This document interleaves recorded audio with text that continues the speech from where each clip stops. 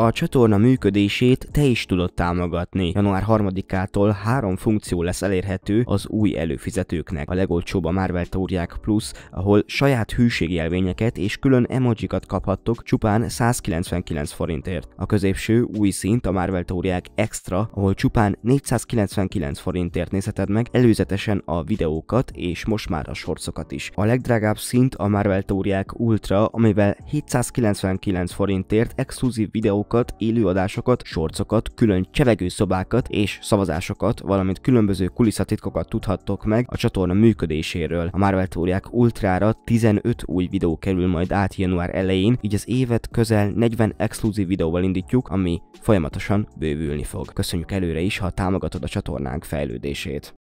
Sziasztok, üdvözlök mindenkit, ez itt a Marvel Teóriák csatorna, és kezdjük el az új évet a szokásos évnyitó videónkkal zsinórban harmadjára, azaz nézzük meg milyen filmek, sorozatok és egyéb Marvelhez kapcsolató dolgok, projektek érkeznek 2024-ben.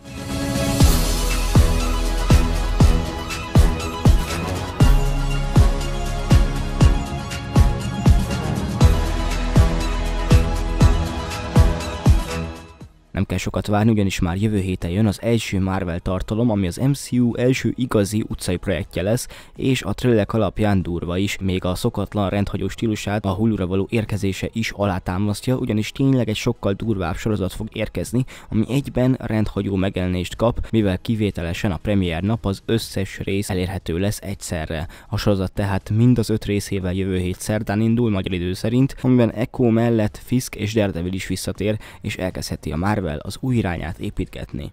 Nagyjából az Echo után egy hónappal később, február közepén jön az SSU következő alkotása, a Madame Web. Ez a projekt eléggé megosztott várakozással indul a mozikba, ugyanis egyesek szerint ígéretesnek néz ki, még mások szerint egy újabb SSU film lesz, aminek se eleje, se vége nincs. Igaz a rossz megítélés talán amiatt is van, mert az első trailer pont a Marvelek premierjének közepén érkezett, ami szintén egy női szuperhősökből álló film volt, ami pedig hát tudjuk, hogy eléggé nagy bukás volt a Marvelnél. Így ez egyértelműen negatív érzetet keltett először, maga a történet tényleg érdekesnek nézhet ki, amiről már több videónk is készült, valamint maga a karakter is egy roppant fontos személy pókember képregényes múltjában, így jöhet az a Valentin napi mozi. Kicsit kakuktojás ez a projekt, ugyanis ez egy fan film, fan sorozat, de a miénk. Az üres tavasz és a labdarúgó EB után folytatódik az elveszett ember, aminek az első része már elérhető a Flóra testvérek csatornán. A sorozat a Pókember karanténban előzmény sorozata, és mindenképpen fontos projekt a következő évek szempontjából, mind a negatív élet, mind az idegen múlt, valamint az utolsó kettő egyelőre még csak számunkra a publikus Pókember filmekre. A sorozat második részében már beindulnak majd a dolgok, miután az első részben szépen bevezettük a történetet. Egy nagyon érdekes, sötét és egyben pókemberes történet folytatódik 2024. júliusában egészen augusztusig, a maradék 5 összesen 6 résszel.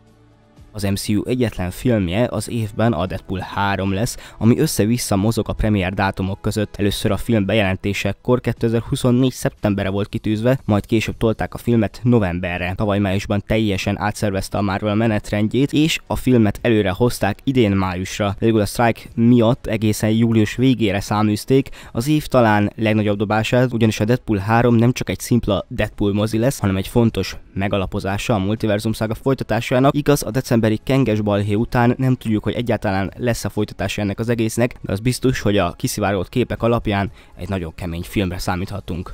A nyár leges legvégén jön az SSU első komolyabb filmje, a Craven, ami az előzetesek alapján akár még jó is lehet, de akár ez a film lehet az új Morbius is. Nem csak azért, mert a premierje ennek majdnem egy évet csúszott, hanem mert egy pókember szorinak ez is önmagába kevés lehet, viszont mi előítéletek nélkül kíváncsian fogunk beleülni a mozikba augusztus végén. A rajongók kérésére a Marvel még a WandaVision után jelentette be, hogy Agatha kapni fog egy spin-off sorozatot. Pár képet és részletet kaptunk már erről, ami alapján tényleg nem néz ki rossznak a sorozat. Hivatalos premier egyelőre még nincs, de valamikor 2024 őszén érkezik ez a projekt.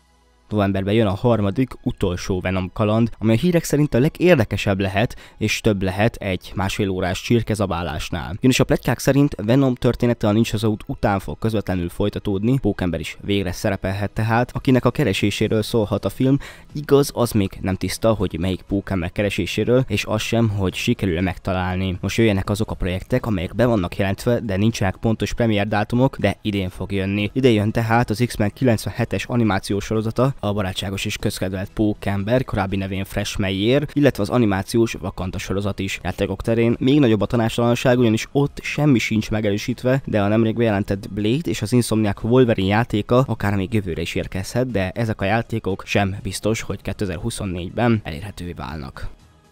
Köszönjük a figyelmet, tehát a mai nappal elindult a kéthetes pihenő után a Marvel teóriák, és egy sokkal intenzívebb évre számítsatok a csatorna működésében, de majd ezeket a community panelünkben részletezzük. Ez a hét egy bemelegítő lesz, szóval csak ez a videó jön ki erre a csatornára, ugyanis elindult a harmadik csatornánk a szünet alatt, a filmközpont, ahol minden Marvelen kívüli filmmel és sorozattal foglalkozunk, szóval iratkozzatok fel, link a leírásban. Jövő héten viszont beindulunk, jön az Echo, és jönnek a további videók, szóval csapjunk bele a lecsóba, találkozunk jövő héten. Sziasztok!